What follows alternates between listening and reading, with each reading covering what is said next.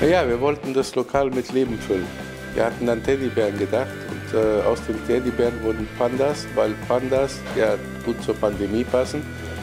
Und das sind Pandemie-Pandas. Deswegen Pandas.